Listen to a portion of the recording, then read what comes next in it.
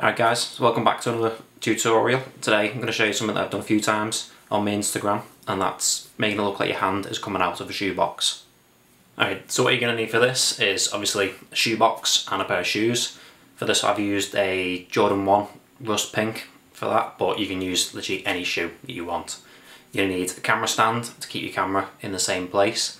Ideally you want to be able to use it remotely. I use the Canon app or you can get remote um, remote controls for them to also take a picture or you just use a timer on the camera and then personally I prefer to do it with using a table to have the shoebox on or you could use a chair as well.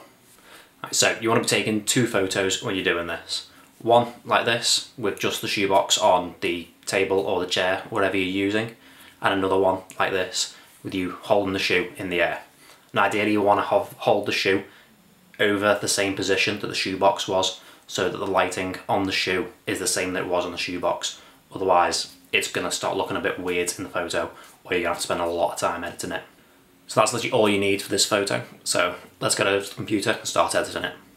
Okay, so now you've got both of your photos edited. You've got the one with just the box, and you've got the one with the shoe in your hand.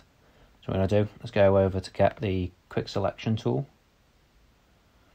Then pretty much highlight over the whole of your arm and the shoe. Now the shoe should, collect, should select quite easily, but your hand is going to be a bit more difficult. Get all the shoe done first.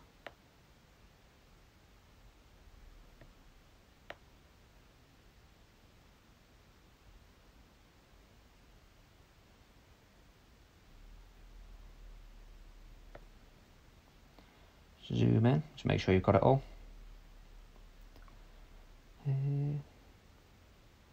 Go that bit. There we go. Now you'll notice it's missed a load of the arm. So you just have to start from the top, and my finger even. And just push it out a bit more, just to make sure it's got everything in.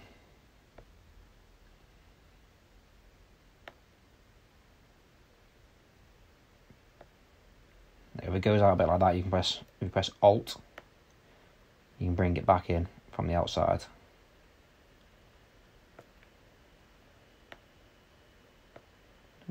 There we go.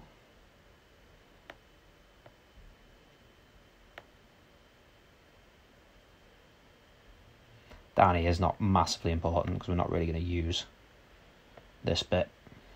I mean, do the other side sec, there, alt, bring that back in.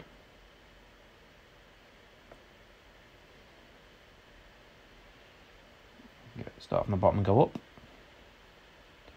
That bit's pretty much fine. bit there. Oops, alt again, just to bring that back in.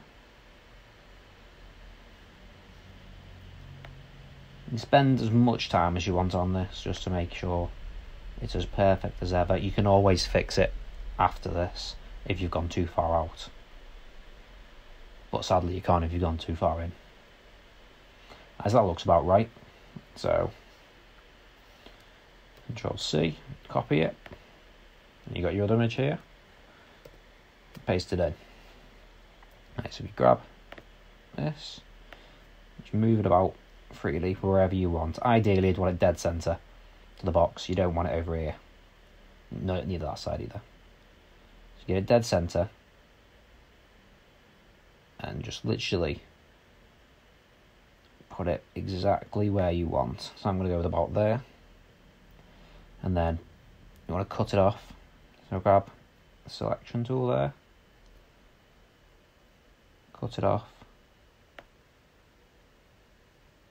Just to the box. That'd be good if I had that bit in it. Here, delete that. Oh, useful if I selected the layer. Delete that. There's that done. So you can see where I've missed a few bits there and there. We can go over quickly. Your brush, or your eraser even.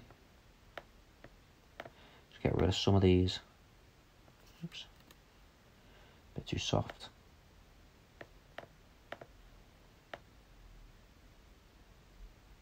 Some of these bits that are really sharp on there.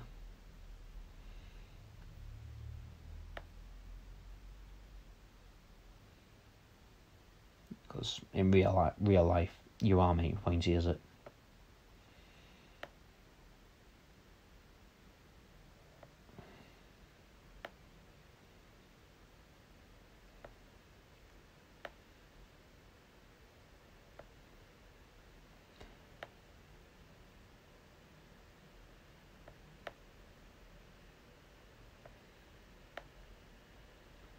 This is where you can get rid of any bits that you've gone over too much on.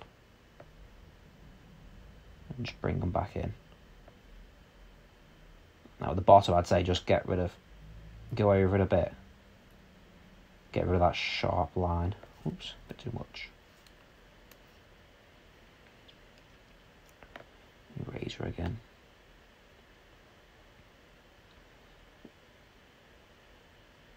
Because you don't want a sharp line just sitting there. Look weird.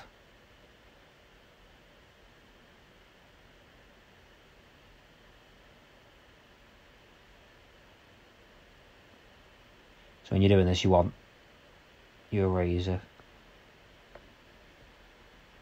and the hardness to not be at the top. I'd say about 50% or less. And there you go. It's done.